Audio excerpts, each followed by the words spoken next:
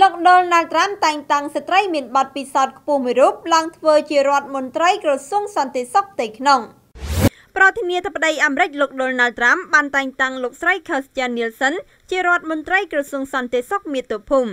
លោកស្រី Nielsen ក៏ជាជំនួយការម្នាក់របស់ប្រធានសេតវិមានលោក John Kelly ផងដែរនេះបើតាមសេតវិមានដកស្រង់ដោយទីភ្នាក់ងារសារព័ត៌មានចិនសិនហួរនៅព្រឹកថ្ងៃប្រហ័សទី12ខែតុលាឆ្នាំ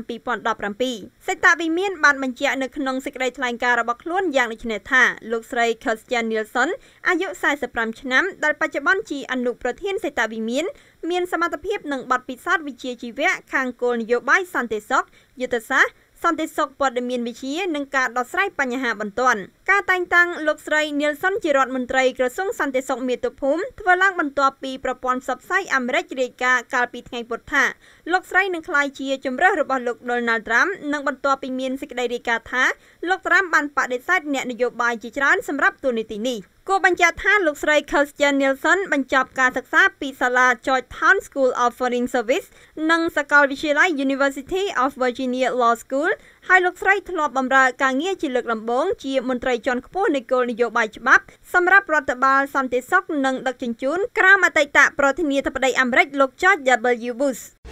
ឧបត្ថម្ភធំដោយ website កំសាន្តអនឡាញលំដាប់ពិភពលោកដែលផ្ដល់ជូនហាងឆេងល្អបំផុត មាននៅ 188az.com